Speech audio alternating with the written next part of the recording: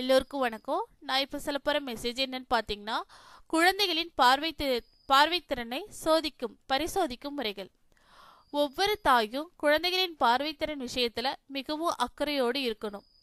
குழந்தை பிறந்து ஒன்று அல்லது இரண்டு மாதத்திற்கு பின்னாடி அதன் பார்வையை ஒரு தாயால் பரிசோதிக்க முடியும்.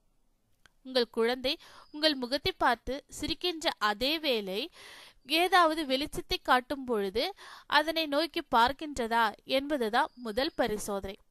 அத்தோடு ஒரு பொருளை சத்தம் செய்யாம அதன் கண்களில் தெரியும்படி காட்டி குறிப்பிட்ட ஒரு திசையை நோக்கி கொண்டு செல்லும் போது அப்பொருளை நீங்கள் காட்டும் திசையை நோக்கி திரும்பி பார்க்குதா அப்படிங்கிறத கவனிக்கணும். ஏன் பொருளை சத்தம் செய்யாம காட்டணும் அப்படின்னு பாத்தீங்கன்னா ஒருவேளை சத்தத்துல செவிமடுத்து சத்தம் வருகிற திசையை நோக்கி கூட அது பார்க்கலாம். அதை கொண்டு நம் குழந்தையின் பார்வையை வந்து சரியாக இருக்குதா அப்படின்னு நமக்கு தீர்மானத்துக்கு வர முடியாது. அதனால சத்தம் இல்லாம கொண்டு சென்றோம்னாக்கா குழந்தைக்கு பார்வை திறன் கரெக்டா இருக்கான்னு நம்ம தெரிஞ்சுக்கலாம்.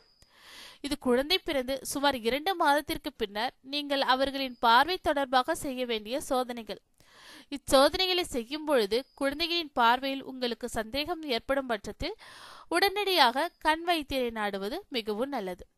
இந்த மெசேஜ் உங்களுக்கு ரொம்ப யூஸ்ஃபுல்லா இருக்கு நம்புறேன். பிடிச்சிருந்தா லைக் பண்ணுங்க ஷேர் பண்ணுங்க. மறக்காம கீழே உள்ள சப்ஸ்கிரைப் பட்டனை சப்ஸ்கிரைப் பண்ணோம் தேங்க்யூ